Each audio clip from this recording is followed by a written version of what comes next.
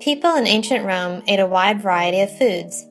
What a person ate depended on both their wealth and where they lived in the Roman Empire.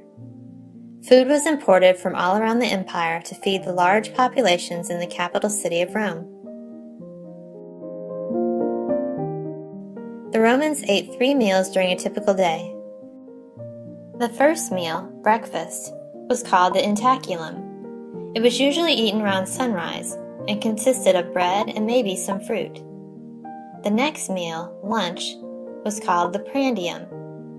The prandium was a very small meal eaten around 11 a.m. The main meal of the day was the cena. It was eaten in the afternoon. As you might expect, the poor people in Rome did not eat the same food as the wealthy. The main food of the poor was a porridge called pulse. Pulse was made by mixing ground wheat and water. Sometimes they might get some vegetables or fruit to eat with their pulse. The poor ate very little meat. The wealthy ate much better than the poor. They would often have fancy dinner parties that lasted for hours and had several courses. They would have a variety of foods, including fruit, eggs, vegetables, meats, fish, and cakes.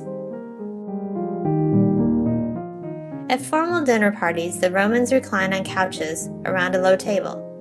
They would lay on their left arm and then eat from the center table using their right hand.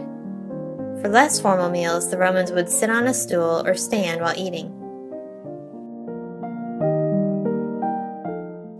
The main utensil used by the Romans for eating was the spoon. They also used their hands a lot. They sometimes used a knife or a fork like utensil for cutting or spearing a piece of food. Some of the foods that the ancient Romans ate would seem strange to us today. At fancy banquets, they sometimes ate things like flamingos' tongues, roast peacock, and stewed snails. Perhaps the strangest thing they ate was dormice.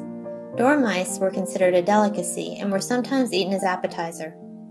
One Roman recipe called for the dormice to be dipped in honey and rolled in poppy seeds. The main drink of the Romans was wine. It was often watered down for daily consumption.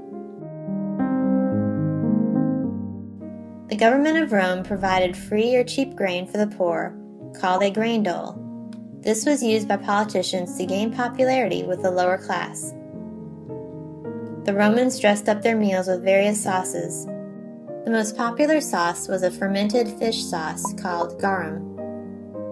Fish was more common than other types of meat. Oysters were so popular that there were large businesses devoted to oyster farming. In addition to the porridge pulse, bread and cheese were common staple foods in the Roman Empire. Wealthy Romans often had entertainment at their dinner parties, including dancers, poets, and musicians.